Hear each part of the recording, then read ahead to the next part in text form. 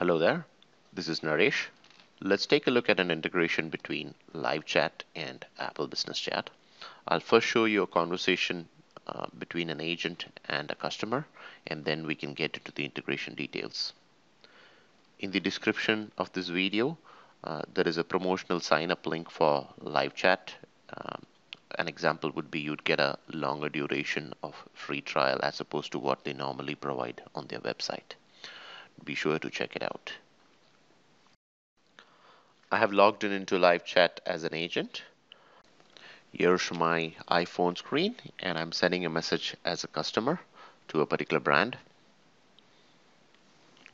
The agent is not talking with any of the customers, so gets this chat right away, accepts the same. There is a known bug where the first message from the customer uh, shows up twice uh, for the agent. It should be fixed sometime soon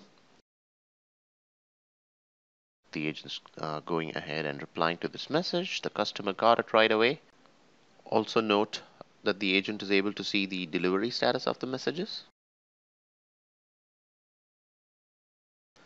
You can see the customer typing indicator, which is also quite helpful. I am going to let this conversation finish here. Uh, if you'd like to skip the same, uh, go ahead to around two minutes in this video to see the integration steps between live chat and Apple Business Chat.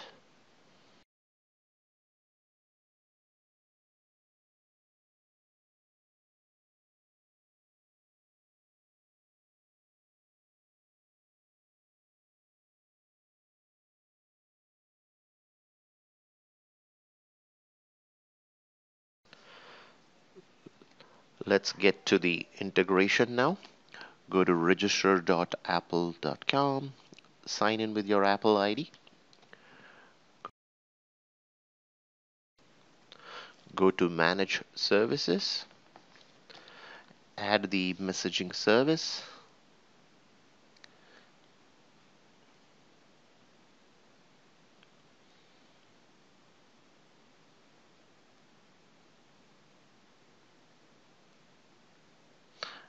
Add a new account.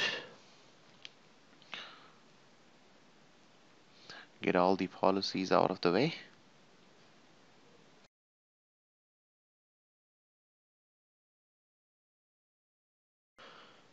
Fill in all the organization related information that's being asked for. Next you got to select your account type between commercial and internal test if you were to select commercial account, here is a look at the info that you would be asked for. Brand identity, response time, hours of operations, and a couple of logos. Since my purpose here is not to publish this, but just do a test, I'm going to go ahead and select uh, internal test account instead of the commercial account. In fact, the approval also seems to be faster if it's a test account.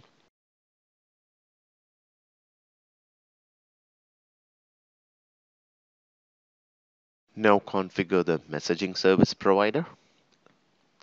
Select live chat from the list.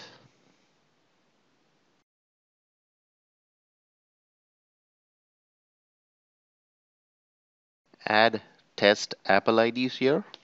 These are users who are going to test sending messages from their Apple device. Email the testing instructions to them and here is an example of the email that they would receive from Apple. Now go ahead and test the connection with live chat.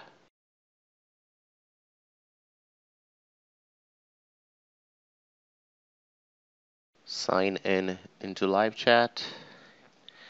Go ahead and click on connect and you should be golden do let me know in the comments how your integration goes or if you have any questions that I might be able to help with. Thank you very much for taking the time to like this video if it has helped you and uh, have a wonderful rest of the day. Goodbye.